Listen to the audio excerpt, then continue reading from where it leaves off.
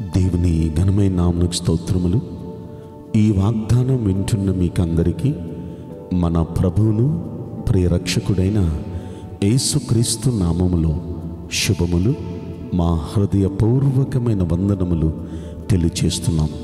ఈరోజు దేవుని వాగ్దానం జకర్యా గ్రంథం ఎనిమిదవ అధ్యాయము పదమూడవ వచనం. మీరు ఆశీర్వాదాస్పదమగునట్లు నేను మిమ్మను రక్షింతును.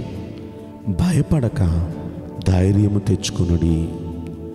ఈ వాగ్దానం వింటున్న మనందరి వెనుకడిలో మంచి దేవుడు నెరవేర్చునుగాక. ఆమెన్.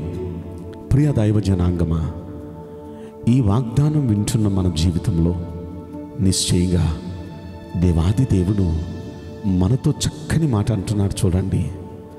మనల్ని ఆశీర్వాదమునకు ఆస్పదమగునట్లు కారణమగునట్లు మన దేవుడు మనల్ని రక్షించబోతున్నాడు.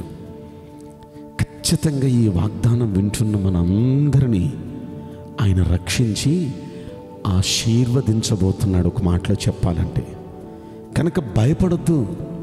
ప్రస్తుతం మీకున్న సమస్యలను బట్టి మీకున్న పేదరికాన్ని బట్టి మీకున్న ఇబ్బందులను బట్టి భయపడొద్దు. ధైర్యం తెచ్చుకోండి. ఖచ్చితంగా దేవుడు మనల్ని ఈ బాధల నుండి రక్షించి ఆశీర్వాదమునకు ఆస్పదులగునట్లుగా ఆయన చేయబోతున్నాడు. అయితే మన పాత్ర మనం ఏం చేయాలి? అలనాడు ఇజ్రాయిలీలతో ఎరుషులేము కాపురస్తులతో యూదా వారందరితో ప్రభు చెప్తున్న మాట. ఏం చేయాలని దేవుడు చెప్పారో ఆ మాట కింద పదిహేనో వచ్చిన నుండి పదిహేడవ వచ్చిన వరకు మనం చూస్తాం. ఏం చేయాలి వారు? ప్రతివాడు తన పొరుగువానితో సత్యమే మాట్లాడాలి. ప్రియ దైవ జనాంగమా మీరు తీర్మానం చేసుకోండి. పొరుగువారితో సత్యమే పలుకుతాం. సత్యమేవ జయతే సత్యం ఎప్పుడు జయిస్తుంది. సత్యం పలికితే వారి పక్షాన దేవుడు ఉంటాడు. యథార్థత అంటే దేవునికి చాలా ఇష్టం. సత్యం అంటే చాలా ఇష్టం. కనుక అబద్ధాలు మానేసేద్దాం. సత్యమే పలుకుదాం. మనం చేయాల్సిన రెండవ మంచి పని సమాధానంగా ఉందాం అందరితో. అక్కడ రెండవ మాట చెప్పాడు తోటి వ్యక్తులందరితో సమాధానంగా ఉందాం. మనకి ఎవరితో గొడవద్దు ఎవరితో మనకు శత్రుత్వం వద్దు అందరితో సమాధానంగా ఉందాం. మూడో మాట న్యాయమును బట్టి గుమ్మములలో తీర్పు తీర్చవలెను అన్నాడు. మనం మన ప్రత్యర్థికి న్యాయంగానే తీర్పు తీర్చాలి. అన్యాయంగా మనం మాట్లాడద్దు. మన తరపు లేక మనం మన వైపే మాట్లాడుకుంటాం ఎప్పుడు. న్యాయం మన పక్షానే మాట్లాడుకుంటాం. న్యాయం అనేది మనం అవతల వ్యక్తి పక్షాన ఆలోచించాం. కానీ మన గుమ్మం దగ్గర ఎప్పుడు న్యాయంగానే మాట్లాడాలి. అంటే ఇంకో గుమ్మం దగ్గరికి వెళ్ళి అన్యాయం చేయాలని కాదు. ఎప్పుడు అన్యాయం అనే దానికి దూరంగా ఉండాలి. న్యాయంగానే తీర్పు తీర్చాలి. న్యాయంగానే మాట్లాడాలి. ఇక నెక్స్ట్ ఎలా ఉండాలంటే పదిహేడు వచ్చిన అంటాడు పొరుగువాని మీద ఎప్పుడు ఎవరు దుర్యోచన యోచించకూడదు. అంటే పొరుగు వారికి తోటి వారికి ఎప్పుడు చెడు జరగాలని చెడు ఆలోచన ఆలోచించకూడదు. ఎవరి గురించి చెడ్డ ఆలోచన దుర్యోచన యోచించకూడదంటే చెడ్డ ఆలోచన ఎవరి గురించి? వాళ్ళకి అలా జరిగితే బాగుండు వీళ్ళకి ఎలా జరిగితే బాగుండు వాడు అలా అయిపోతే బాగుండు వీడు ఎలా అయిపోతే బాగుండు అనుకోకూడదు. చెడ్డ ఆలోచన చెడు జరగాలని ఎవరి గురించి అనుకోకూడదు. అలా అనుకుంటే నష్టం ఏంటో చెప్పన? మనం తోటి వ్యక్తులకి ఏం జరగాలని మన మనసులో అనుకుంటాం ముందు మనకు జరిగిద్ది అది. కనుక తోటి వ్యక్తులకు అవసరమైతే శత్రువుకి కూడా మంచే జరగాలని కోరుకుందాం. ఖచ్చితంగా మంచి మన ఇంట్లో ఆరంభమైద్ది.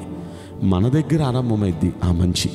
కనుక దుర్యోచన ఎవ్వరి గురించి ఆలోచించొద్దు. మంచి ఆలోచనే ఆలోచిద్దాం. మంచిగానే అందరిని దీవిద్దాం.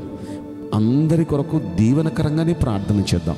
ఎవ్వరికి ఏ విధమైన శాపం రాకూడదు. ఏ విధమైన నష్టం ఎవరికి కలగకూడదు.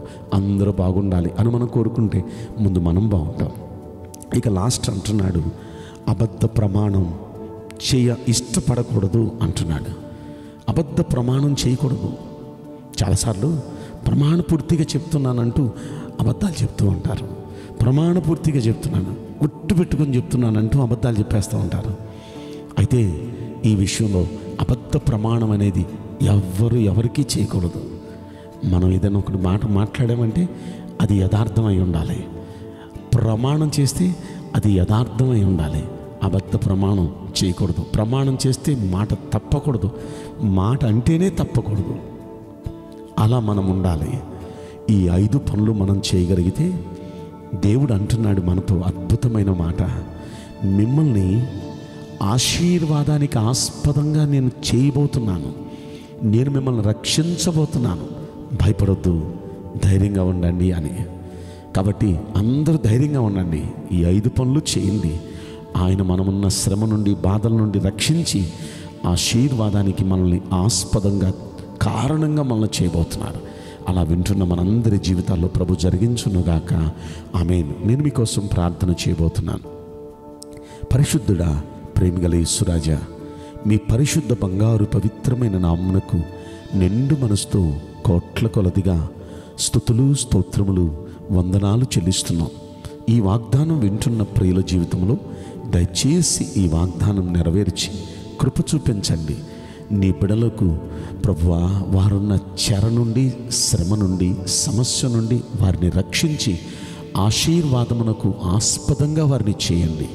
నీ బిడల్ని అన్ని విషయాల్లో వర్ధిల్ల చేయమని మా ప్రార్థన వింటున్నందుకు ఈ వాగ్దానం నీ బిడల జీవితాల్లో నెరవేరుస్తున్నందుకు కోట్ల కొలదిగా కృతజ్ఞతా స్తోత్రములు చెల్లిస్తూ నజరుడని యేసుక్రీస్తు ప్రశస్తమైన నామంలో మిక్కిలి వినయమతో ప్రార్థించి బ్రతిమలాడి వేడుకుంటున్నాం. ప్రియ పరలోకపు తండ్రి amen. May God bless you all thank you